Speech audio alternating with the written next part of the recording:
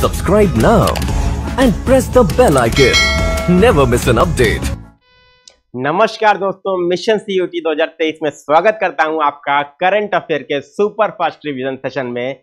आज आप सभी का स्वागत है और आज हम लोग जो डिस्कस करने जा रहे हैं, बहुत ही महत्वपूर्ण हमारे जो क्वेश्चन थे करंट अफेयर के, जो आपके एग्ज़ाम में पूछे जा सकते हैं, आगामी शिफ्ट में, वो हम लोग डिस्कस करेंगे।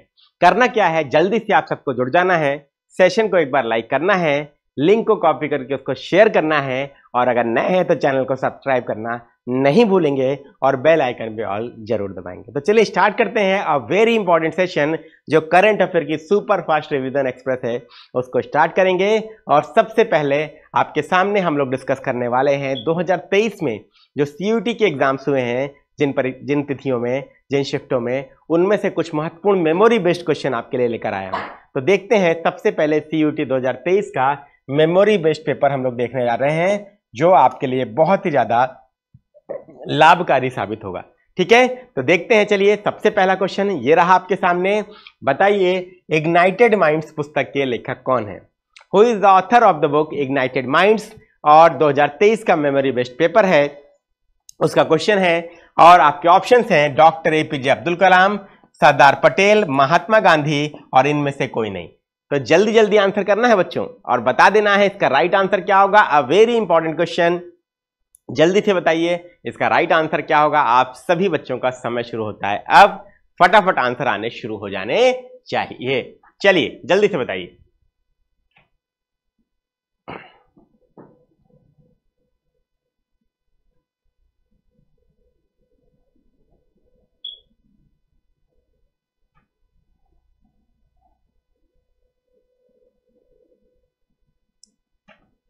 चलिए, बहुत ही बढ़िया क्वेश्चन था और बहुत ही बढ़िया तरीके से आप लोगों ने आंसर करना शुरू किया है यहाँ पर। तो देखते हैं राइट आंसर क्या होगा।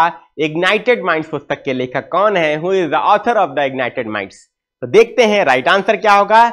ये रहे आपके ऑप्शंस और राइट आंसर आपका है डॉक्टर एपीजे अब्दुल कलाम और आप सबको पता होगा हमारे पूर्व राष्ट्रपति भी रह चुके हैं। और बहुत ही फ़ेमस पर्सनैलिटी इनको हम लोग क्या कहते हैं? मिसाइल मैन ऑफ़ इंडिया के नाम से भी जानते हैं। तो मैं यहाँ पे लिख रहा हूँ इनके बारे में बहुत ही महत्वपूर्ण facts missile man of India clear है बेटा? सभी बच्चों को मिसाइल मैन ऑफ़ इंडिया के बारे में इनको मिसाइल मैन भी बोलते थे तो आपके लिए इंपॉर्टेंट है एग्ज़ाम में पूछा जा सकता है। क्लियर है? ये पहला फैक्ट हो गया। दूसरा चीज़ आप सबको पता होगा, भारत के पूर्व राष्ट्रपति भी रह चुके हैं। ठीक है?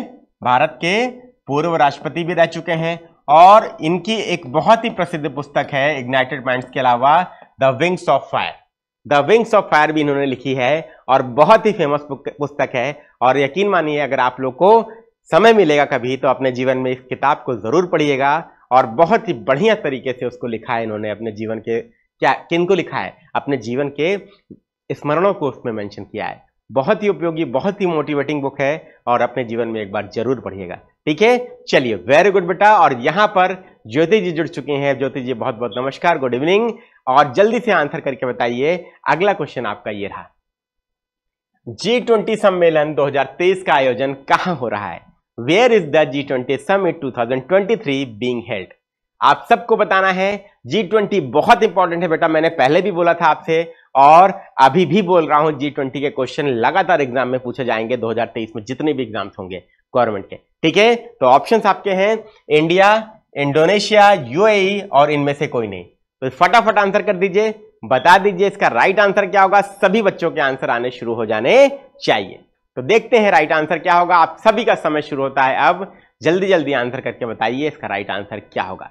और यहाँ पर देखिए ट्वेंटी जी जुड़ चुके हैं, वो लिख रहे हैं इंडिया होगा और ज्योति जी ने भी आंसर किया है। बहुत ही बढ़िया वेरी गुड शानदार आंसर आपके आने शुरू हो गए हैं। और ए आंसर आ रहा है ज्योति जी की तरफ़ से, रामू जी की तरफ़ से भी, और सभी बच्चे लोग एकदम सही दिशा में आंसर कर रहे हैं। तो यहाँ पे क्या इंडिया ही आंसर होगा कि इंडोनेशिया आंसर होगा, ये देखना इंपॉर्टेंट है बच्चों।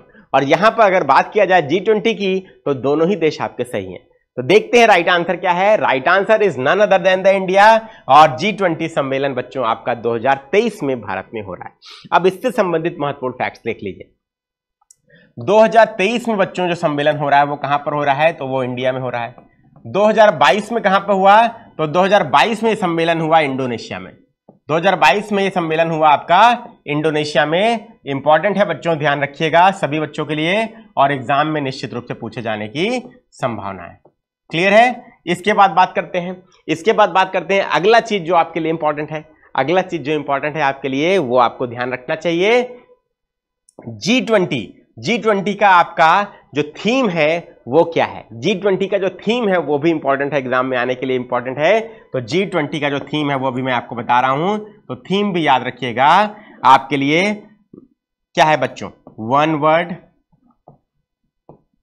वन अर्थ और वन फैमिली ये याद रखिएगा बच्चों, वसुधैव कुटुंबकम। हिंदी में आप सब लोग जानते हैं, वसुधैव कुटुंबकम का मतलब होता है आपका एक विश्व, एक परिवार। तो इसका मतलब आपका वही हमारा क्या है जी ट्वेंटी का लोगो भी क्लियर है बेटा सबको? सभी बच्चों को स्पष्ट हो गया होगा, उम्मीद करता हूँ। ठीक है? तो जी ट्वेंटी के क्वेश्चन आपके लिए इंपॉर्टेंट है और जी ट्वेंटी के अगर लोगों की बात किया जाए तो वो भी आपके एग्ज़ाम में आ सकता है। तो जी ट्वेंटी का जो लोगो है, वो भी नोट कर लीजिए क्या है। तो उस लोगो में बच्चों आपका क्या है? लोटस कमल के पुष्प पे पृथ्वी, लोटस प्लस अर्थ। कमल के पुष्प पे आपका क्या है? कमल के फूल के बीच में कमल के फूल के ऊपर आपका पृथ्वी आपका रखी हुई है और सात पंखुड़ियाँ हैं कमल के फूल में और सातों पंखुड़ियाँ आपकी अलग अलग महाद्वीपों का प्रतिनिधित्व कर रही हैं। क्लियर है बेटा? सेवन कॉन्टिनेंट्स हैं। सात अलग अलग द्वीप क्या महाद्वीपों का प्रतिनिधित्व कर रही हैं और उस लोगों का प्रतीक क्या है? इस लोगों का मतलब क्या है बच्चों? चुनौतियों के बीच में विकास। चुनौतियों के बीच में विकास करना इसका क्या है बच्चों? उद्देश्य है, ये जी ट्वेंटी लोगों का सिग्निफिकेंस है। क्लियर है बेटा? तो इतनी महत्वपूर्ण इन्फॉर्मेशन मैंने आपको बताई जी ट्वेंटी से संबंधित, और भारत को अध्यक्षता कब मिली, ये भी आपको नोट कर लेना है। भारत को जो अध्यक्षता मिली है जी ट्वेंटी की तो इंडिया की जो प्रेसिडेंसी है, वो एक दिसंबर एक दिसंबर 2022 से लेकर 30 नवंबर 30 नवंबर 2023 तक आपका इंडिया के पास प्रेसिडेंसी रहेगी। ये आपकी यहाँ पे मैं लिख दे रहा हूँ, प्रेसिडेंसी। प्रेसिडेंसी या अध्यक्षता इसको हिंदी में बोलते हैं जी ट्वेंटी की इंडिया के पास इतने दिन तक रहेगी। उम्मीद करता हूँ क्लियर हो गया होगा आप सबको। ठीक है, चलिए आगे बढ़ते हैं, सेशन को आगे बढ़ाते हैं। नेक्स्ट क्वेश्चन ये रहा, मुंशी प्रेमचंद्र का वास्तविक नाम क्या था? What was the real name of Munshi Premchand? आप सबको बताना है। आपके ऑप्शंस हैं गुलाब राय नरेंद्र नाथ धनपत राय और रामबोला।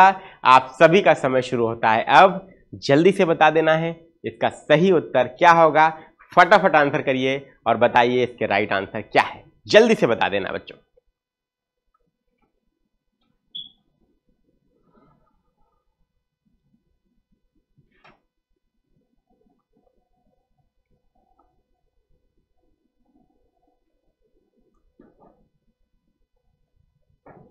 बहुत ही बढ़िया क्वेश्चन था और शानदार तरीके से आप लोगों ने आंसर करना शुरू कर दिया है। और यहाँ पर जो आंसर आ रहा है, ट्वेंटी जी ने सी लिखा है, ज्योति जी ने बी लिखा है। अ वेरी गुड क्वेश्चन और आप बहुत, आप सभी के लिए बहुत ही आसान क्वेश्चन था ये। बहुत ही पॉपुलर क्वेश्चन है, जो आपका एग्ज़ाम में पूछा गया। नित्य जी जुड़ चुके हैं, वो भी ए लिख रहे हैं। जो भी बच्चे नए हैं बेटा सेशन को एक बार लाइक करना है बेटा। लिंक को कॉपी करके एक बार शेयर कर दीजिए अपने दोस्तों के बीच में। नए हैं तो चैनल को सब्सक्राइब करिए और बेल आइकन को ऑल दबाइए। तो देखते हैं राइट आंसर क्या है। तो इसका राइट आंसर आपका है धनपत राय श्रीवास्तव और मुंशी प्रेमचंद्र बहुत ही प्रसिद्ध है। और आपको पता है, ये आपके, इन्होंने जो इनकी जो एक कृति बहुत ही फ़ेमस है बच्चों, जो रचना बहुत ही फ़ेमस है, आप लोग जानते होंगे, गोदान। नाम सुना होगा बच्चों आप लोगों ने, ठीक है? तो कमेंट बॉक्स में कमेंट करके बताइए इनकी रचना है कि नहीं है, ठीक है? और कोई इनकी प्रसिद्ध रचना हो तो वो भी कमेंट बॉक्स में कमेंट करके बताना है, ठीक? चलिए आगे बढ़ते हैं और नेक्स्ट क्वेश्चन ये रहा आपके सामने। निम्नलिखित में से किस भारतीय ने साहित्य में नोबेल पुरस्कार जीता? Which of the following Indians won the Nobel prize in literature Nobel prize in literature किसने जीता है, आपको बताना है। आपके ऑप्शन इस प्रकार है, रविंद्रनाथ टैगोर, एपीजे अब्दुल कलाम, महात्मा गांधी और सर्वपल्ली राधाकृष्णन। तो जल्दी से आंसर कर देना है, बता देना है इसका राइट आंसर क्या होगा। बहुत ही महत्वपूर्ण क्वेश्चन है, शानदार तरीके से आंसर करिए, बता दीजिए इसका सही उत्तर क्या होगा। अमरजीत जी, नमस्कार बेटा, गुड इवनिंग। जल्दी जल्दी बता दीजिए सभी वो लोग, इसका राइट आंसर क्या होगा। समय शुरू होता है आप लोगों का अब।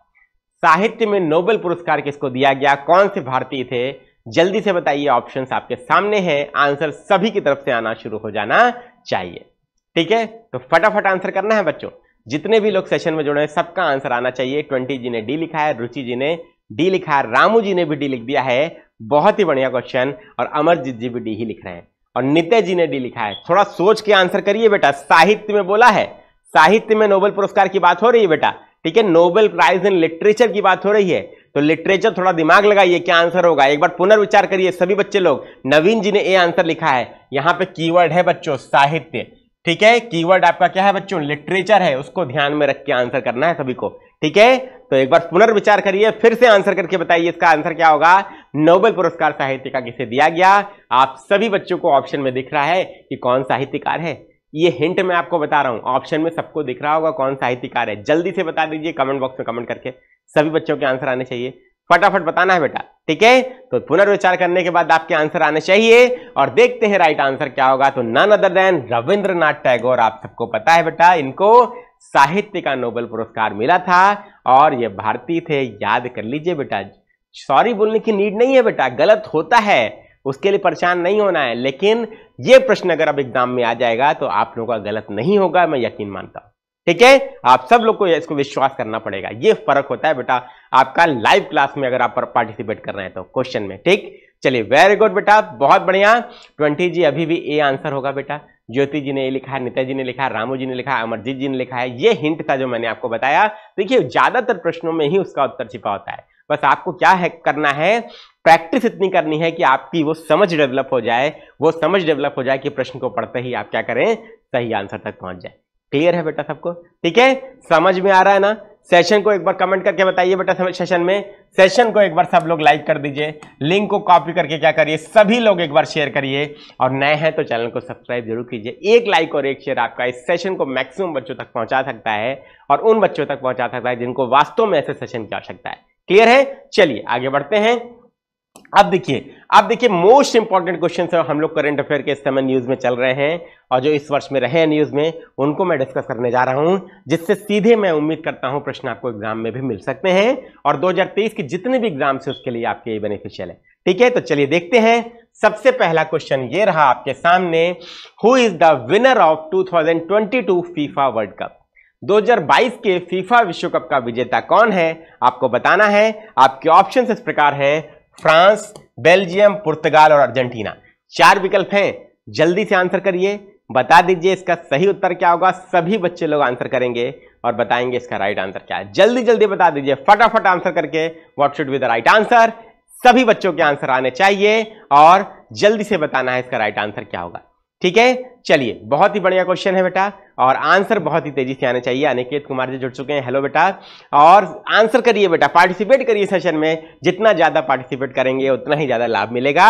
और सेशन को एक बार लाइक और शेयर ज़रूर करेंगे, जो बच्चे अभी जुड़ रहे हैं। तो ट्वेंटी जी ने डी लिखा है, ज्योति जी ने डी लिखा है। वेरी गुड बेटा। बाकी बच्चों के भी आंसर आने चाहिए। बाकी सबके भी आंसर आने चाहिए। फीफा विश्व कप का है क्या basically FIFA world cup 2022 football का विश्व कप है, ये ध्यान रखिएगा और उसी के आधार पर आंसर करिएगा। नित्य जी ने भी लिखा है, अमरजीत जी ने भी लिखा है, ज्योति जी ने भी लिखा है और ट्वेंटी जी ने डी लिखा है। तो देखते हैं बच्चों, विजेता की बात हो रही है 2018 और 22 की बात नहीं हो रही है, ठीक है? तो देखते हैं आंसर क्या है। It is none other than Argentina. Very good बेटा, बहुत ही बढ़िया क्वेश्चन था। और बहुत ही बेहतरीन तरीके से आप लोगों ने यहाँ पे आंसर किया है। ठीक है?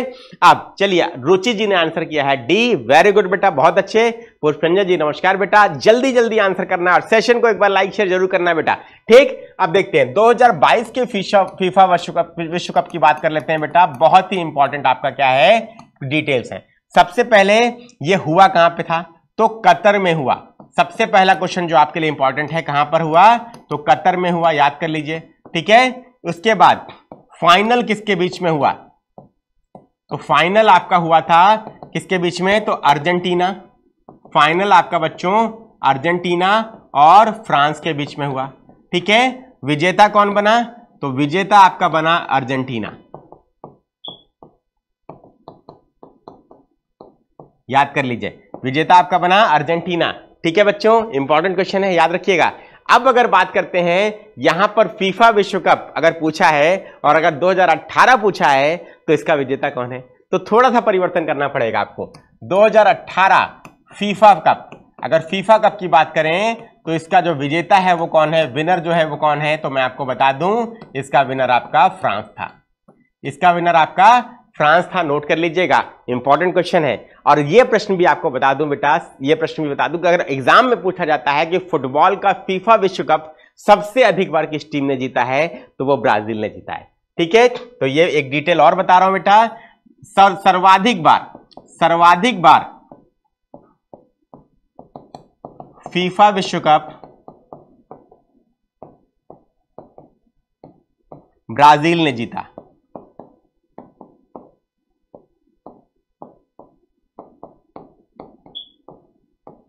कितनी बार जीता है? तो पाँच बार जीता है। नोट कर लीजिएगा। अब ऐसे पढ़ाई करिएगा बच्चों ना तो यकीन मान के चलिए। अगर ऐसे पढ़ाई करेंगे तो सिलेक्शन होगा। निश्चित मान के चलिए। करंट अफेयर पढ़ने का बेस्ट अप्रोच आपका ये होता है बच्चों, इस बात को ध्यान रखना है। ठीक है? तो 2022 का फीफा विश्व कप कतर में हुआ। फाइनल अर्जेंटीना और फ्रांस के बीच में हुआ। विजेता अर्जेंटीना बना। और सर्वाधिक बार फीफा विश्व कप किसने जीता है? तो ब्राज़ील ने जीता है। 2018 का फीफा विश्व कप का विजेता कौन हुआ? तो फ्रांस हुआ। याद कर लेना है। अब आपके लिए एक प्रश्न है बेटा। कमेंट बॉक्स में आंसर करके बताइए 2026 का फीफा विश्व कप कहाँ पर होने वाला है? जल्दी से बताइए। ठीक है? क्यों? क्योंकि अगला प्रश्न भी आपका वही है। चलिए। Next question which three countries will host the 2026 FIFA world cup tournament कौन से तीन देश 2026 के फीफा विश्व कप टूर्नामेंट की मेजबानी करेंगे? और यही प्रश्न बच्चों मैंने आपको दिया भी था भी और यही देखिए मैंने पूछा भी है। तो जल्दी से आंसर कर दीजिए। सभी लोग आपके ऑप्शन इस प्रकार हैं। USA Mexico Canada US Brazil Mexico Canada Mexico Brazil और ब्राज़ील मैक्सिको कोलंबिया आप सबके ऑप्शन आपके सामने हैं। जल्दी से आंसर कर देना है। बता देना है इसका सही उत्तर क्या होगा। सभी बच्चे लोग फटाफट आंसर कीजिए बेटा। सेशन को एक बार क्या कर दीजिए लाइक कर दीजिए जिन्होंने नहीं किया। लिंक को कॉपी करके एक बार शेयर ज़रूर करेंगे। और अगर नए हैं तो चैनल को क्या करेंगे बेटा सब्सक्राइब ज़रूर करेंगे बेल आइकन पे ऑल दबाएँगे। चलिए आंसर आने शुरू हो जाने चाहिए। फटाफट बताना है बेटा। राइट आंसर क्या होगा, सभी बच्चे लोग बता देंगे बेटा। सभी बच्चे लोग आंसर करके बताएँगे। राइट आंसर क्या है, फटाफट बताइए। इसका सही उत्तर क्या होगा। और यहाँ पर अनिकेत जी जो आंसर कर रहे हैं, वो डी आंसर कर रहे हैं। अनिकेत जी जो आंसर कर रहे हैं, वो डी आंसर कर रहे हैं। ज्योति जी ने सी आंसर किया, वेरी गुड बेटा। पार्टिसिपेशन सबका होना चाहिए बेटा। देखिए देखिए, सबसे बड़ी चीज़ क्या है? क्लास को अगर इंक्लूसिव बनाना है डेवलपमेंट को इंक्लूसिव बनाना है तो उद्देश्य क्या है? मैक्सिमम पार्टिसिपेशन चाहिए। पार्टिसिपेशन मैक्सिमम होना चाहिए बच्चों। जब तक पार्टिसिपेशन मैक्सिमम नहीं होगा तो किसी भी स्कीम को हम क्या नहीं बना सकते सक्सेसफुल नहीं बना सकते। किसी भी फाइनेंशियल इंक्लूजन ड्राइव को सक्सेसफुल नहीं बना सकते और किसी भी क्लास को हमें सक्सेसफुल बनाना है तो मैक्सिमम पार्टिसिपेशन चाहिए आप लोगों की तरफ़ से। ठीक है? तो ये फंड हमेशा याद रखिए फंडामेंटल होता है किसी भी चीज़ के लिए। ठीक? तो डी आंसर कर रहे हैं अनिकेत जी और देखते हैं बच्चों यहाँ पर क्या आंसर होगा। विनय जी बोल रहे हैं कि सी आंसर होगा सर ठीक है? तो इंपॉर्टेंट है निहारिका जी ने ये आंसर कर दिया है। वेरी गुड बेटा। और जितने भी बच्चे सेशन में जुड़ रहे हैं आंसर सब लोग करेंगे, बेटा। ठीक? तो वेरिएबल आंसर आ रहे हैं यहाँ पर। सी डी और ए तो देखते हैं राइट आंसर क्या होगा। तो right answer year is US Mexico and Canada उत्तरी अमेरिका महाद्वीप में हो रहा है बच्चों।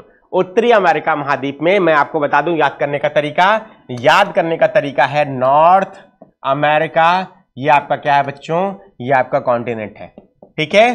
कॉन्टिनेंट है नॉर्थ अमेरिका और उत्तरी अमेरिका महाद्वीप इसे बोलते हैं। और इसमें ही बच्चों ये तीनों देश हैं यूएसए मैक्सिको एंड कनाडा ठीक है? याद कर लीजिएगा, बहुत ही महत्वपूर्ण क्वेश्चन है और अगर ऐसे याद करिएगा तो समझ में आ जाएगा, आपको क्लियर हो जाएगा। रुचि जी क्लियर हो गया बेटा, निकेत जी क्लियर हुआ अमरजीत जी क्लियर हुआ, विनय जी क्लियर हुआ, निहारिका जी क्लियर हुआ, सभी बच्चे लोग जुड़े हैं क्लियर हुआ कि नहीं? कैसे याद करेंगे बेटा? नॉर्थ अमेरिका महाद्वीप, उत्तरी अमेरिका महाद्वीप खोलिएगा मैप में और वहाँ पे आपको ये तीन देश मिलेंगे सबसे पहले। कनाडा मिलेगा ऊपर, फिर यूएस मिलेगा, फिर मैक्सिको मिलेगा। याद हो जाएगा सभी बच्चे लोग कमेंट बॉक्स में कमेंट करके बताइए। जल्दी से बताइएगा कमेंट बॉक्स में। क्लियर हो गया कि नहीं हो गया? याद हो जाएगा कि नहीं हो जाएगा? जल्दी से बताइए बेटा।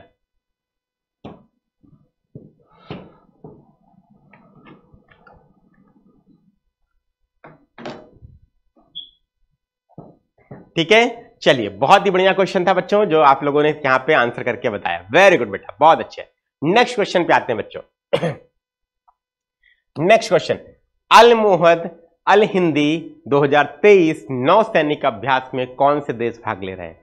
Which countries are participating in the Al Mohed Al Hindi 2023 naval exercise आपके ऑप्शन इस प्रकार हैं बच्चों, भारत, रूस और सऊदी अरब। भारत और रूस, सऊदी अरब और भारत और भारत और श्रीलंका। तो फटाफट आंसर कीजिए, बता दीजिए इसका सही उत्तर क्या होगा। जल्दी जल्दी आंसर करके बता देना है सभी बच्चों को।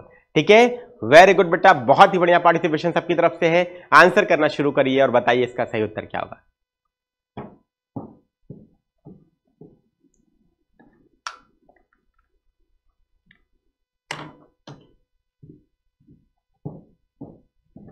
तो देखते हैं यहाँ पर राइट आंसर क्या है। तो अल मोहद अल हिंदी 2023 नौसैनिक अभ्यास में कौन से देश भाग ले रहे हैं? तो यहाँ पर आंसर आ रहा है, निहारिका जी ने लिखा है सी। बाकी बच्चों के भी आंसर बहुत ही तेज़ी में आने चाहिए। सुरभि जी, नमस्कार बेटा गुड इवनिंग आंसर करिए, बहुत ही तेज़ी में। ये डिफेंस एक्सरसाइज जो है, ये आपको बताना है कहाँ पर, किस देश के बीच में आयोजित हो रही है। तो देखते हैं बच्चों, यहाँ पर राइट आंसर क्या है? तो राइट आंसर आपका है सऊदी अरब और भारत। सऊदी अरब और भारत आपका एकदम सही उत्तर है।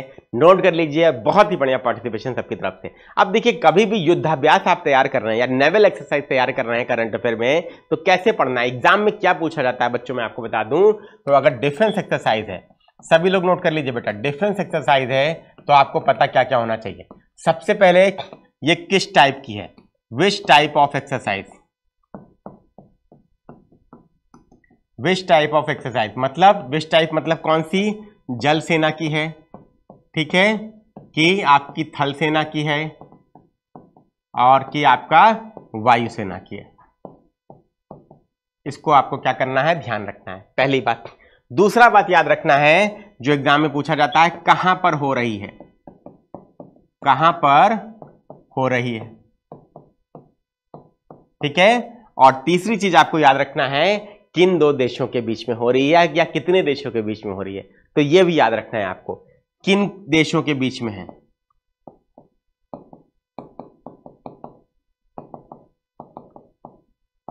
ठीक? तो ये तीन प्रश्नों का उत्तर तलाशने का प्रयास करिएगा, जब भी कोई युद्धाभ्यास करिएगा। तो up to the level of state civil services और एसएससी के मेंस के एग्ज़ाम तक के लेवल तक जितने भी एग्ज़ाम है बच्चों, सब में आपका क्लियर हो जाएगा। कभी यह प्रश्न आपका गलत नहीं होगा। और यहाँ पर देखिए, इसका आंसर हमें मिला कि नहीं विच टाइप ऑफ़ एक्सरसाइज है? तो ये आपकी जल सेना नेवल एक्सरसाइज है, बच्चों, आप देख सकते हैं। यहाँ पे प्रश्न में ही मेंशन है। नौ सैनिक अभ्यास है। ठीक है? इंपॉर्टेंट है बच्चों, याद रखिएगा, कहाँ पर आयोजित हो रही है? तो इस प्रश्न का आंसर बच्चों, मैं आपको बता दूँ, ये आपका सऊदी अरब में। सऊदी अरब में आपका आयोजित हो रही है। याद याद रखिएगा बच्चों। और किन देशों के बीच में है? तो यहाँ पर यह प्रश्न पूछा ही है, सऊदी अरब। और भारत। क्लियर हो गया सब बच्चों को? सब बच्चों को क्लियर हुआ कि नहीं बेटा? आप कोई भी युद्धाभ्यास अगर आप पढ़ रहे हैं तो आप ऐसे पढ़ाई करिएगा तो यकीन मान के चलिए सिलेक्शन होगा। ठीक है? प्रश्न आपका बनेगा एग्ज़ाम में। ठीक, यही तो उद्देश्य है ना बच्चों? सिलेक्शन है रिसर्च करना तो उद्देश्य है नहीं? ठीक है? चलिए, आगे बढ़ते हैं। नेक्स्ट क्वेश्चन देख लेते हैं। ये रहा आपके सामने कोंकण नौसैनिक अभ्यास। कोंकण नौसैनिक अभ्यास किन दो देशों के बीच में आयोजित किया जाता है? Konkan naval exercise is conducted between which two countries सबको बताना है, India Bangladesh, India Sri Lanka, India China और इंडिया यूके आपके ऑप्शन है। फटाफट आंसर बताइए, इसका राइट आंसर क्या होगा, सभी को बताना है। और युद्धाभ्यास में, डिफेंस एक्सरसाइज में कौन से तीन प्रश्नों का उत्तर तलाशना है, मैंने आपको पहले ही बता दिया, किन देशों के बीच में है, कहाँ पर आयोजित हो रहा है और किस प्रकार का अभ्यास है। तो जल्दी से बताइए। सर, इसका पूरा लिस्ट मिल सकता है, एक्सरसाइज के अब तक जो हो चुके हैं, बिल्कुल मिल सकता है बेटा सुरभि जी। क्यों नहीं मिलेगा? अभी बस इसके, इस एक्सप्लेनेशन में ही आपको मिल जाएगा। देखिए, जैसे ही आप बच्चे प्रश्न करते हैं, उससे पहले ही मैं समझ जाता हूँ पूर्वाभास में, इसलिए मैं आपके लिए वो आंसर लेकर आया हूँ बेटा। ठीक है? परेशान नहीं होना है सुरभि जी। कैसे पढ़ना है? क्या चीज़ ध्यान देनी है ये समझ में आया कि नहीं? जल्दी से कमेंट बॉक्स में बता दीजिए। ज्योति जी ने बी लिखा है वेरी गुड अमरजीत जी ने भी आंसर किया है। ट्वेंटी जी ने डी लिखा है वेरी गुड बेटा। और अमरजीत जी सी लिख रहे हैं। तो देखते हैं बच्चों, कोंकण अभ्यास किसके बीच में है? तो it is none other than India UK India UK एकदम सही आंसर है बच्चों। याद कर लीजिएगा। और देखिए, किन दो देशों के बीच में है? तो क्या है? इंडिया और यूके के बीच में है। पहला क्वेश्चन तो हमें यही मिल गया आंसर। तो इंडिया और यूके के बीच में है। दूसरा आपका क्या है बच्चों?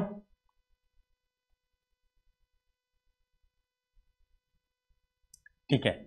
देख लेते हैं बेटा यहाँ पे। सभी लोग के लिए इंपॉर्टेंट है ये। तो सबसे पहले देख लीजिए, इंडिया और यूके के बीच में है।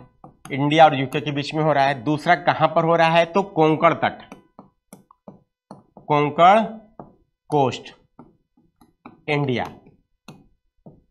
ठीक है? इसके बाद ये आपका किस प्रकार का अभ्यास है बच्चों? तो ये प्रश्न में ही दिया है। तो नेवल एक्सरसाइज है या नौसैनिक अभ्यास है? ये आपको ध्यान रखना है और इंडिया यूके आपका एकदम सही उत्तर है। क्लियर है बच्चों सबको? स्पष्ट हो गया? ठीक है? बहुत ही बढ़िया क्वेश्चन था और शानदार तरीके से आप लोगों ने आंसर करके बता दिया। ठीक है? चलिए अब देख लेते हैं बच्चों, ये एक्सप्लेनेशन मैंने क्या किया है, आपके लिए दिया है। ये मैंने पूरा चार्ट के फॉर्म में आपको प्रदर्शित कर दिया है कि जितने महत्वपूर्ण युद्धाभ्यास है और किन दो देशों के बीच में होते हैं ज़्यादातर जिसमें भारत पार्ट लेता है, वही आपके एग्ज़ाम में पूछे जाते हैं, ठीक है? चलिए, यहाँ पर देख लीजिए तो संप्रीति अभ्यास जो है, वो किसके किसके बीच का है? तो वो इंडिया, बांग्लादेश के बीच का है। याद करते चलिएगा साथ में, ठीक है? इसका पीडीएफ मिल जाएगा, परेशान नहीं होना किसी बच्चे को। डाउनलोड पीडीएफ का लिंक देखिए, ऊपर लगा हुआ है बच्चों, ठीक? चलिए, इसके बाद मित्र शक्ति की बात करें तो ये इंडिया श्रीलंका के बीच का है। ठीक? मैत्री एक्सरसाइज की अगर बात करें तो इंडिया थाईलैंड के बीच का है। वज्र प्रहार की बात करें तो इंडिया और यूएस के बीच का है। India, America. युद्ध अभ्यास की बात करें तो यह भी इंडिया और अमेरिका के बीच का है। नोमाडिक एलिफेंट की बात करें तो इंडिया और मंगोलिया। गरुण शक्ति की अगर बात करें तो यह आपका इंडिया और इंडोनेशिया है। धर्म गार्जियन की बात करते हैं तो इंडिया, जापान। सूर्यकरण की बात करें तो इंडिया, नेपाल और सिम्बेक्स की अगर बात करें तो ये इंडिया और सिंगापुर। तो ये पूरा चार्ट मैंने आपको क्या किया है देकर बता दिया है। जितने भी महत्वपूर्ण युद्धाभ्यास होते हैं, ये मैंने किन देशों के बीच में होते हैं, भारत और किन देशों के बीच में, ये मैंने पूरा चार्ट आपके सामने प्रदर्शित कर दिया है, जो एक बच्चे ने अभी रिक्वेस्ट किया था। उससे पहले ही बच्चों में समझ जाता हूँ कि आपकी क्या डिमांड होगी, क्या आपका डाउट होगा। इसीलिए आपके लिए पूरा चार्ट मैंने क्या किया, प्रिपेयर किया और लेकर आया। ठीक है? समझ में आ रहा है बेटा? पसंद आ रहा है सेशन तो एक लाइक और एक शेयर तो ज़रूर बनता है बेटा। एक बार धमाकेदार तरीके से आप लोग लाइक और शेयर कर दीजिए सेशन को, ठीक है? चलिए वेरी इंपॉर्टेंट सेशन बेटा, और आगे बढ़ते हैं। Next question the challenge of world poverty पुस्तक के लेखक कौन है? Who author the book the challenge of world poverty आपके ऑप्शन इस प्रकार है। Jean Dreze, Adam Smith, Amartya Sen और गुन्नार मेल्टल आपके ऑप्शन है। जल्दी से आंसर कर दीजिएगा। बता दीजिएगा इसका राइट आंसर क्या है? बहुत ही इंपॉर्टेंट क्वेश्चन है बेटा। सभी बच्चों की तरफ़ से आंसर बहुत ही तेज़ी में आना चाहिए। शानदार तरीके से जल्दी जल्दी आंसर करना शुरू करिए। A very important books books and author के प्रश्न आते ही आते हैं बच्चों। दो से तीन प्रश्न रहते ही रहते हैं परीक्षा में। इंपॉर्टेंट है आपके एग्ज़ाम के लिए भी, ये बुक भी और ये ऑथर भी बहुत ही फ़ेमस हैं। जल्दी से बताइए। ज्योति जी ने भी आंसर किया। वेरी गुड बेटा। बाकी बच्चों के भी आंसर आने चाहिए। फटाफट आंसर करिए बेटा। जितना स्पीड में आंसर करेंगे, उतना ही ज़्यादा क्या होगा? आपके लिए यह सेशन बेनिफिशियल होगा बच्चों, क्योंकि उतने ही ज़्यादा क्वेश्चन हम लोग डिस्कस करेंगे। ठीक है? तो देखते हैं बच्चों यहाँ पे राइट आंसर क्या आ रहा है। यहाँ पर राइट आंसर क्या आ रहा है? फटाफट सभी बच्चों को बता देना है राइट आंसर क्या होगा। ठीक है? तो चलिए देखते हैं यहाँ पे राइट आंसर क्या है। तो Gunnar Myrdal is the right answer और बुक्स एंड ऑथर में याद रखिएगा बेटा, आपको जो महत्वपूर्ण किताबें न्यूज़ में रही हैं वही आपके लिए इंपॉर्टेंट है। जैसे कौन कौन सी चीज़ें आपके लिए इंपॉर्टेंट है? जैसे ज्ञानपीठ पुरस्कार, किसको मिला? किस कृति के लिए या उपन्यास के लिए मिला या किस पुस्तक के लिए मिला? इसके बाद साहित्य अकादमी पुरस्कार टोटल हिंदी और इंग्लिश में देख लीजिए किन भाषाओं के लिए मिला है? नोबेल पुरस्कार साहित्य का किन, किस पुस्तक के लिए किस उपन्यास के लिए मिला है? तो ये सब चीज़ें क्या है? कुछ आपके इंपॉर्टेंट क्या है? फ़ेमस पॉलिटिशियंस होते हैं वो किताबें लिखते हैं कुछ क्रिकेटर्स होते हैं वो किताबें लिखते हैं। तो जो फ़ेमस पर्सनैलिटीज़ हैं बच्चों उन्होंने अगर कोई पुस्तक लिखी है या ऑटोबायोग्राफी लिखी है तो वो आपके लिए इंपॉर्टेंट हो जाती है। ठीक है? समझ में आ रही है बात बच्चों? कैसे तैयारी करनी है इसकी? ठीक? चलिए तो डी आंसर आया वेरी गुड बेटा। चलिए बा, बात करते हैं नेक्स्ट क्वेश्चन ये रहा आपके सामने डिस्कवरी ऑफ़ इंडिया किसने लिखी है? Who wrote the discovery of India एक और क्वेश्चन और बहुत ही महत्वपूर्ण और बहुत ही कॉमन क्वेश्चन मैंने आपके सामने पूछा जो आपको बताना है राइट right आंसर क्या है? महात्मा गांधी, सरदार वल्लभ भाई पटेल, इंदिरा गांधी और जवाहरलाल नेहरू। जल्दी से बता दीजिए आंसर करके, इसका सही उत्तर क्या होगा? बहुत ही अच्छा क्वेश्चन है और बहुत ही बेहतरीन तरीके से आप सभी लोगों को आंसर करके यहाँ पे बताना है बेटा। जल्दी जल्दी बताइए, इसका सही उत्तर क्या होगा? सभी बच्चों के आंसर आने शुरू हो जाने चाहिए। Discovery of India is a famous book जो आपको बताना है इसका सही उत्तर क्या होगा। चलिए, यहाँ पर आंसर आना शुरू हो गया है। ये बहुत अच्छी बात है और पार्टिसिपेशन आप लोगों का बहुत ही बेहतरीन है। सेशन अगर पसंद आ रहा है तो एक बार क्या करना है बेटा? लाइक करना है सबको। लिंक को कॉपी करके एक बार शेयर ज़रूर कर देना है बेटा। और नए हैं तो चैनल को सब्सक्राइब ज़रूर करेंगे सभी लोग।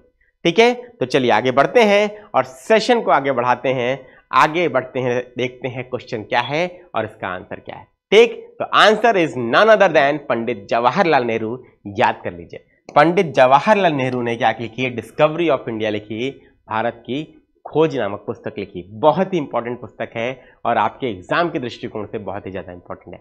क्लियर है बेटा? सभी लोग नोट कर लीजिएगा। ठीक है? चलिए, आगे बढ़ते हैं। अगला क्वेश्चन ये रहा आपके सामने। ऑस्ट्रेलियन ओपन महिला एकल खिताब की विजेता कौन है?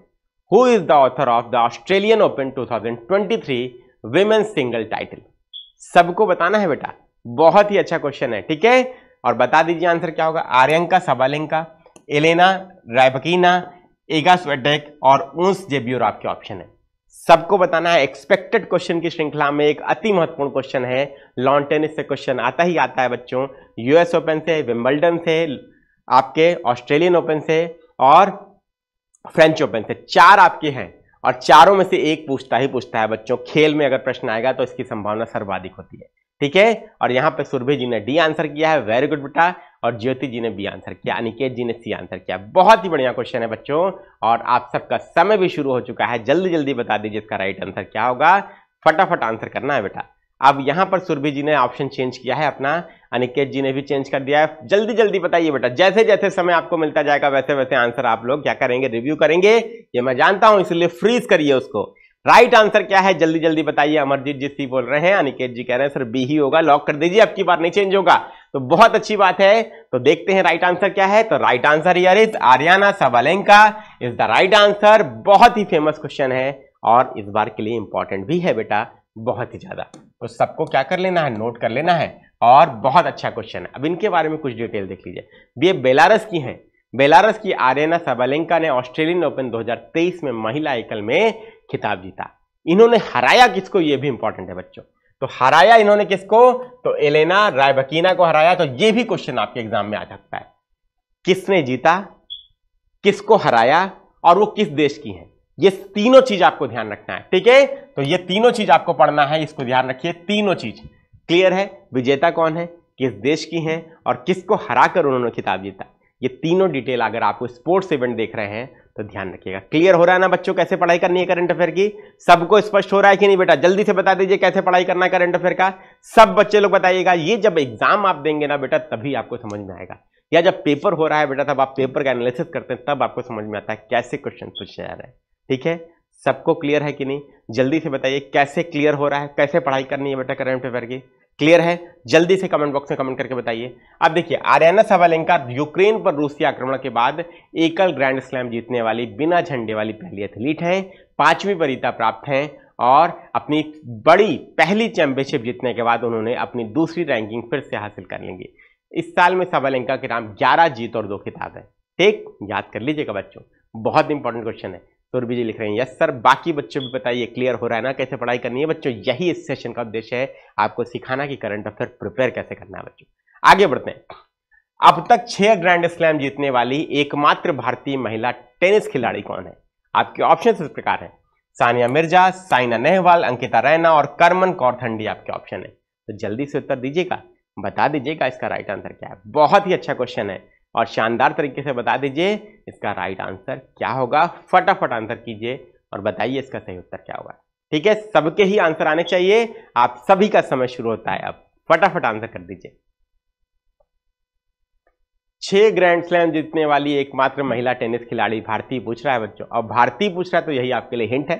भारतीय पूछ रहा है तो यही आपके लिए हिंट भी है। जल्दी से बताइए। देखिए, अमरजीत जी भी लिख रहे हैं। यस सर क्लियर है। अनिकेत जी भी लिख रहे हैं। बहुत अच्छा बेटा। बहुत ही बढ़िया पार्टिसिपेशन है। सेशन आप सबका बहुत ही बेहतरीन है और लेकिन लाइक नहीं कर रहे हैं सेशन को शेयर नहीं कर रहे हैं। एक बार सभी लोग सेशन को लाइक और शेयर कर दीजिए। एक लाइक और एक शेयर आपका इस सेशन को मैक्सिमम बच्चों तक पहुँचा सकता है, जिनको वास्तव में ऐसा सेशन की आवश्यकता है। ठीक तो बी आंसर आ रहा है बच्चों यहाँ पर। यहाँ पर बी आंसर आ रहा है। और यहाँ पर मैं समझ रहा हूँ कि इसमें कंफ्यूजन है आप लोगों को। साइनिया मिर्ज़ा और साइना नेहवाल में। ठीक है तो यहाँ पर टेनिस खिलाड़ी पूछा है बच्चों तो कन्फ्यूज़न नहीं होना चाहिए। यहाँ पर टेनिस खिलाड़ी पूछा है, अगर ये ध्यान दे देंगे तो आपका आंसर बन जाएगा। ठीक तो राइट आंसर क्या है? Sania Mirza the right answer याद कर लीजिए, छह ग्रैंड स्लैम इसने जीत, इन्होंने जीते हैं, एकमात्र भारतीय खिलाड़ी हैं टेनिस की। ठीक, चलिए, अब तक छह ग्रैंड स्लैम जीतने वाली पहली और एकमात्र भारतीय टेनिस खिलाड़ी हैं। हाल ही में सानिया और रोहन बोपन्ना की जोड़ी ने ब्राजीलियाई टीम से ऑस्ट्रेलियन ओपन मिश्रित युगल खिताब हारा। सानिया फरवरी में दुबई में एक प्रतियोगिता के बाद संन्यास ले लेंगी और छह ग्रैंड स्लैम टूर्नामेंट इन्होंने जीते हैं जिनमें से तीन मिश्रित युगल में और तीन महिला युगल चैंपियनशिप में। क्लियर है बेटा सबको? ठीक है? चलिए, आगे बढ़ते हैं। वेरी गुड बेटा। और नेक्स्ट क्वेश्चन ये रहा आपके सामने। यहाँ पर देखिए आंसर सबके बहुत अच्छे आए। अनिकेत जी ने, निहारिका जी ने, अमरजीत जी ने, सुरभि जी ने बहुत ही बेहतरीन आंसर बच्चों की तरफ़ से। निम्नलिखित में से किसे नोबेल पुरस्कार नहीं मिला है? Who among the following has not received a Nobel prize yet जल्दी से बताना है। अमर्त्य सेन, मर्दर टेरेसा, महात्मा गांधी और सीवी रमन। बहुत ही इंपॉर्टेंट क्वेश्चन है बच्चों आपके लिए। आंसर करिए, बताइए इसका राइट आंसर क्या होगा। सभी बच्चे लोग बताएँगे बेटा। और आप सबका समय शुरू होता है नोबेल पुरस्कार इज़ वेरी इंपॉर्टेंट बच्चों। अवार्ड्स में अगर क्वेश्चन आएगा तो सबसे पहली प्रायोरिटी नोबेल पुरस्कार की। स्पोर्ट्स से क्वेश्चन आएगा तो सबसे पहली प्रायोरिटी आपकी लॉन टेनिस की होती है, फिर क्रिकेट की होती है। याद कर लीजिए बच्चा, जो ये सब मैं आपको बता रहा हूँ, ये आपका क्या है? ये अनुभव के आधार पर ही है बच्चों। ये ऐसे नहीं समझ में आएगा, ऐसे मिलेगा भी नहीं, लेकिन मैं आपको इसलिए बता रहा हूँ क्योंकि एग्ज़ाम क्लियर करना है आपको। ठीक है? और उसमें लाभकारी होगा। ठीक? चलिए, यही स्मार्ट स्टडी होती है। स्मार्ट स्ट्रेटजी स्मार्ट स्टडी के साथ आपको सफलता दिलाती है। निहारिका जी ने लिख दिया, महात्मा गांधी वेरी गुड बेटा। और बहुत ही बेहतरीन आंसर आपकी तरफ़ से आने शुरू हो गए यानी कि जीवीसी लिख रहे हैं। वेरी गुड बेटा। It is none other than Mahatma Gandhi very good बेटा। बहुत अच्छे। आप यहाँ पर देखिए, यहाँ पर जितने भी लोग हैं, महात्मा गांधी को छोड़कर सबको नोबेल मिला है। ठीक है? तो देखिए, अमर्त्य सेन को किस फ़ील्ड में मिला है बच्चों? तो अर्थशास्त्र में मिला है। तो अर्थशास्त्र का नोबेल इनको मिला है, याद कर लीजिए। ठीक? मदर टेरेसा को नोबेल शांति पुरस्कार मिला है। ठीक है? इनको नोबेल शांति पुरस्कार मिला है। नोट करते जाइए बच्चों, बहुत इंपॉर्टेंट है। और यहाँ पर सीवी रमन को जो है, इनको भी नोबेल पुरस्कार मिला है बच्चों, रमन इफ़ेक्ट के लिए। क्लियर है? याद कर लीजिएगा बच्चों, इनको रमन इफ़ेक्ट के लिए नोबेल मिला है और इनको ये याद कर लीजिए, बहुत इंपॉर्टेंट है आप सब बच्चों के लिए। क्लियर है? सभी बच्चों को समझ में आ रहा है बेटा सभी बच्चों को समझ में आ रहा है? ठीक है? क्लियर है बेटा? बहुत ही इंपॉर्टेंट चीज़ है। ठीक? तो यहाँ पर देखिए मैंने आपको क्या किया? तीनों बता दिया किस किस क्षेत्र में नोबेल मिला। तो अर्थशास्त्र में नोबेल मिला, शांति में नोबेल मिला और भौतिकी में फिजिक्स मतलब क्या होता है बच्चों? चलिए यहाँ पे भी हम लोग क्या करते हैं? हिंदी ही लिख लेते हैं। क्यों? क्योंकि क्या है? ये हमारे लिए फ़ायदेमंद हो जाएगा। क्यों? क्योंकि बाकी दो हिंदी में ही है। तो भौतिकी, फिजिक्स को क्या बोलते हैं बच्चों? भौतिकी का नोबेल पुरस्कार किसके लिए मिला बच्चों इनको? तो रमन प्रभाव के लिए मिला था। याद कर लीजिए, रमन इफ़ेक्ट इंपॉर्टेंट है और महात्मा गांधी ऑल दो आपके नोबेल शांति पुरस्कार के लिए चार से अधिक बार नॉमिनेट किए गए, लेकिन एक बार भी इनको पुरस्कार नहीं मिला। क्लियर ये एक आश्चर्यजनक बात है, जो अपने आप में डाइजेस्ट नहीं होती बच्चों। ठीक चलिए। ये वेस्ट का जो डुअल स्टैंडर्ड है, ये शो करता है बच्चों, पश्चिमी देशों का। यहाँ पर देखिए, राजू जी लिख रहे हैं वेरी गुड बेटा, अमरजीत जी, राजू जी अनिकेत जी वेरी गुड बहुत अच्छे। वेलफेयर इकोनॉमिक के लिए वेलफेयर इकोनॉमिक्स के लिए इनको मिला था अमरत्य को कब मिला था? तो उन्नीस सौ अट्ठानबे में। याद कर लीजिएगा नोबेल पुरस्कार। टेक मदर टेरेसा को कब मिला? तो उन्नीस में मिला। दुनिया में गरीबी और संकट को दूर करने के संघर्ष में किए गए उनके कार्यों के लिए नोबेल शांति पुरस्कार मिला। सीवी रमन को कब मिला? तो 1930 में मिला रमन प्रभाव कहे जाने वाले प्रकाश से के प्रकीर्णन पर उनके कार्य के लिए भौतिकी का नोबेल मिला। और यहाँ पर एक बहुत डिटेल आपको पता होनी चाहिए। महात्मा गांधी को चार बार नॉमिनेट किया गया बच्चों, और एक बार भी उनको नहीं मिला। तो उन्नीस सौ सैंतीस अड़तीस उनतालीस और सैंतालीस में नोबेल शांति पुरस्कार के लिए नॉमिनेट किया गया लेकिन कभी भी उनको नहीं दिया गया। और ये पश्चिमी देशों का जो डुअल स्टैंडर्ड है इसको दिखाता है। क्लियर है बेटा सबको? सबको स्पष्ट हो गया कि नहीं हुआ? ठीक चलिए। मेरा एक, कंफ्यूजन है जी ट्वेंटी समिट मीटिंग्स में पता कहाँ हुआ है अब बट अब तक जितना भी हुआ है उसका पूरा लिस्ट नहीं एक दिन दे दीजिएगा लिस्ट बेटा सेशन डेली अटेंड करिए सुरभि जी। करंट अफेयर का। उसमें जी ट्वेंटी के आज के सेशन में भी मैंने तीन क्वेश्चन कराए हैं। और पिछला सेशन जो तेईस तारीख का था, इक्कीस तारीख का था, उस पर भी कराए थे। उसको देख लीजिए उसको मिल जाएगा आपको। ठीक, चलिए नेक्स्ट क्वेश्चन बच्चों 2022 में विम्बल्डन महिला और पुरुष पुरुष खिताब के विजेता कौन है? 2022 में विम्बल्डन महिला और पुरुष खिताब के विजेता कौन है? लॉन टेनिस का क्वेश्चन है। Who are the winners of the Wimbledon women's and mains title in 2022 आपके ऑप्शन है एलेना रायबकीना, नोवाक जोकोविच उन्स जेब्यूर नोवाक जोकोविच, एलेना रायबकीना, निक किर्गियोस और वीनस विलियम्स और राफेल नडाल। आपके ऑप्शन है। आप सभी लोगों का समय शुरू होता है अब। जल्दी जल्दी आंसर करिएगा और बताइएगा इसका सही उत्तर क्या है। Very very important question again here for you और आप सबको बताना है इसका सही उत्तर क्या होगा। जल्दी से बताइए।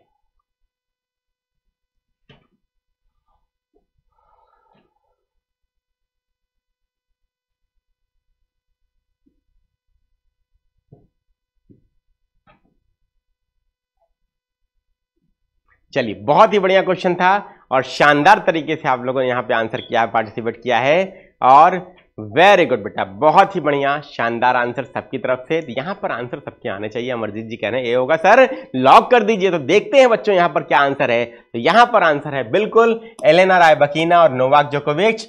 याद कर लीजिए, ये विमेंस में है और ये मेन्स में है। क्लियर है? अब याद रखिए बेटा, अब क्या क्या चीज़ देखनी है। अब ये देखना है बच्चों कि जो ये विजेता है, इन्होंने जीत जीत, अब जब देखिए, टेनिस टूर्नामेंट है। अगर टेनिस टूर्नामेंट देख रहे हैं बच्चों तो टेनिस में इंपॉर्टेंट है क्या क्या चीज़ें तैयार करनी है। पहला, किसने जीता? मैं आपको पहले बता रहा हूँ बच्चों, किसने जीता टूर्नामेंट? ये याद रखिएगा, ठीक है? दूसरा, किसको हराया? किसको हरा कर जीता, ये भी आपके लिए इंपॉर्टेंट है। तो किसको हराया? और तीसरा बच्चों, आपका किस देश के हैं? तीसरा, किस देश के हैं? ये, या ये भी आपको तैयार करना है। ये तीनों ही क्वेश्चन बच्चों आपके क्या है? एग्ज़ाम में पूछे जाते हैं करंट अफेयर में। और अगर ऐसे पढ़ाई करेंगे तो यकीन मान के चलिए सिलेक्शन होगा बच्चों। क्यों? सिलेक्शन किस पर निर्भर कर रहा है? कंपटीशन तो रिलेटिव है ना बच्चों? आप कितना बेहतर पढ़ाई कर रहे हैं, इससे सिलेक्शन डिसाइड नहीं हो रहा। है सिलेक्शन इससे डिसाइड हो रहा है कि आपका मित्र आपकी तुलना में कितना बेहतर तैयारी कर रहा है। तो कंपटीशन भी रिलेटिव है बच्चों। तो इतना बेहतर तैयारी करिए कि आपका मित्र जो है आपसे बेहतर तैयारी कर भी रहा हो तो आप उससे भी बेहतर तैयारी कर पाए। और जब बेहतर तैयारी करेंगे, तभी सिलेक्शन होगा। बच्चों, यकीन मान के चलिए। और बेस्ट स्ट्रेटजी सबसे बेस्ट एफर्ट के साथ अलग तरीके से तैयारी करिए। और अलग तरीका आपका ये है, जो मैं आपको बता रहा हूँ, जिससे करंट अफेयर पढ़ेंगे तो यकीन मान के चलिए सिलेक्शन बनेगा एग्ज़ाम में प्रश्न बनेगा, और उनसे आगे हो जाएँगे। ठीक? चलिए, और एक एक नंबर पर एक एक हज़ार दो दो हज़ार पाँच पाँच हज़ार बच्चे रहते हैं बच्चों। ठीक? याद रखिए। कॉम्पिटिशन टफ है। आगे बढ़ते हैं। देख लीजिए, तेईस वर्षीय है एलिना रायबगीना ग्रैंड स्लैम जीतने वाली कजाकिस्तान की पहली खिलाड़ी है। तो इंपॉर्टेंट है बच्चों आपके लिए, किसकी खिलाड़ी है? तो कजाकिस्तान की। इंपॉर्टेंट मैंने बोला था ना, किस देश के नोट कर लेना है। ठीक इंपॉर्टेंट है, कितने वर्ष की हैं? तो तेईस वर्ष की है। नोवाक जोकोविच जो है, चौदह विम्बल्डन चौथा विम्बल्डन पर उनका एकल खिताब है, और कुल मिलाकर उन्होंने 21 ग्रैंड स्लैम जीते हैं। वह 22 के, वह 22 के राफेल नडाल के जो रिकॉर्ड है, उससे सिर्फ़ एक ग्रैंड स्लैम पीछे हैं, याद कर लीजिएगा बच्चों इंपॉर्टेंट क्वेश्चन है। ठीक है? तो ये भी आपके एग्ज़ाम में पूछा जा सकता है। चौथा सीधा विम्बल्डन है और 22 का जो राफेल नडाल का क्या है बच्चों, खिताब का रिकॉर्ड है, वो तोड़ने के लिए एक ग्रैंड स्लैम इनको और जीतना है, वो इस रिकॉर्ड को तोड़ देंगे। ठीक? चलिए नेक्स्ट क्वेश्चन भारत में हिंदी दिवस या राष्ट्रीय हिंदी दिवस कब मनाया जाता है? When is the Hindi Diwas और national Hindi day celebrated in India सबको बताना है। बहुत ही अच्छा क्वेश्चन है। शानदार तरीके से आंसर करिए और ऑप्शंस आपके सामने हैं। 12 सितंबर 10 सितंबर 14 सितंबर और 18 सितंबर। जल्दी से आंसर करिए कमेंट बॉक्स में और आपका समय शुरू होता है। अब जल्दी जल्दी सभी लोग आंसर करके बताएँगे इसका राइट आंसर क्या है। राष्ट्रीय हिंदी दिवस कब मनाया जाता है? वेरी इंपॉर्टेंट क्वेश्चन अगेन आप सबके आंसर आने शुरू हो जाने चाहिए। ठीक है? तो देखना होगा इंपॉर्टेंट सभी बच्चे लोग फटाफट आंसर करिए। बहुत आसान क्वेश्चन है बेटा। At the same time important भी है आपके लिए। तो देखना होगा इंपॉर्टेंट कितना सही है, कितना गलत आप लोग बता रहे हैं। सभी लोग बताइए, सही तरीके से क्या करना है आंसर करना है पार्टिसिपेट करना है सी आंसर आ रहा है बच्चों। वेरी गुड बेटा। और बिल्कुल 14 सितंबर आपका एकदम सही उत्तर है और ये प्रश्न तो सब बच्चे को आता होगा। हिंदी दिवस बहुत अच्छा क्वेश्चन है। बहुत आसान है, लेकिन इंपॉर्टेंट भी है। ठीक? चलिए, देखिए, यहाँ पर क्या है? 14 सितंबर उन्नीस सौ उनचास को संविधान सभा द्वारा आधिकारिक भाषा के रूप में हिंदी को, देवनागरी लिपि को क्या किया गया था? चिन्हित किया गया था। हर साल 14 सितंबर को हम हिंदी दिवस के रूप में मनाते हैं। याद कर लीजिएगा बच्चों। ठीक है? विश्व हिंदी दिवस लेकिन 10 जनवरी को मनाया जाता है। इसमें कंफ्यूजन होता है बच्चों। तो याद कर लीजिए, विश्व हिंदी दिवस कब? तो 10 जनवरी को। यह भी क्वेश्चन आपके लिए इंपॉर्टेंट है। ठीक है? और अपना जो राष्ट्रीय हिंदी दिवस है वो 14 सितंबर को। ठीक? 10 जनवरी 1975 को नागपुर में आयोजित पहले विश्व हिंदी सम्मेलन की वर्षगांठ के रूप में इसके मनाते हैं। ठीक है? तो 10 जनवरी 1975 को नागपुर में आयोजित किया गया था पहला विश्व हिंदी सम्मेलन। इसीलिए इसकी वर्षगांठ के रूप में हम इसे विश्व हिंदी दिवस के रूप में 10 जनवरी को मनाते हैं। ठीक है? याद कर लीजिएगा 14 सितंबर उन्नीस सौ उनचास को यह डेट भी आपके लिए इंपॉर्टेंट है। क्या किया गया था? संविधान सभा द्वारा ऑफिशियल लैंग्वेज के रूप में हिंदी को देवनागरी लिपि में अपनाया गया था। क्लियर है? ये यहाँ पे चार पाँच क्वेश्चन मैंने आपको और दिए, जो आपके लिए सेशन की उपयोगिता को बढ़ाते हैं। आगे बढ़ते हैं बच्चों।